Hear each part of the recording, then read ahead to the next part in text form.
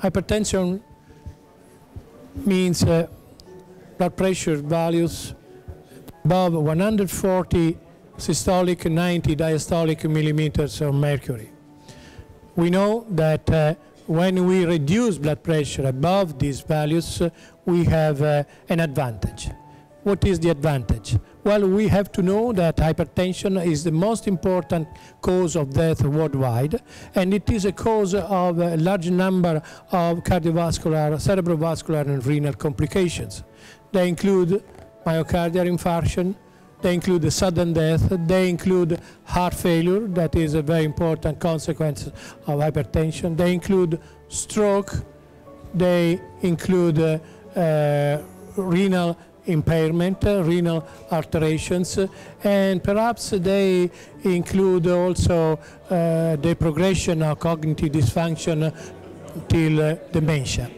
The good news uh, is that if we reduce blood pressure, we have a, a large advantage in terms of less incidence of these events.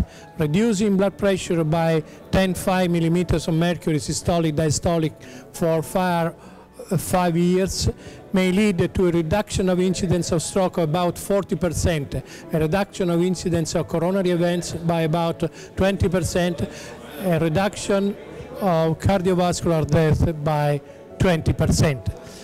Uh, blood pressure should be assessed early, anytime that uh, uh, there is the possibility in the office of the doctor and uh, treatment should be started early.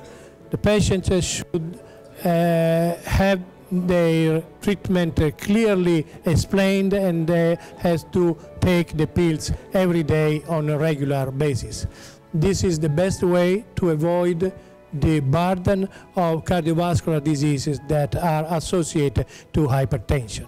It's a very common condition. About 30% of adult population has hypertension. So please check your blood pressure values, go to the doctor and ask whether you have to start treatment and if this so, follow the treatment uh, for your life.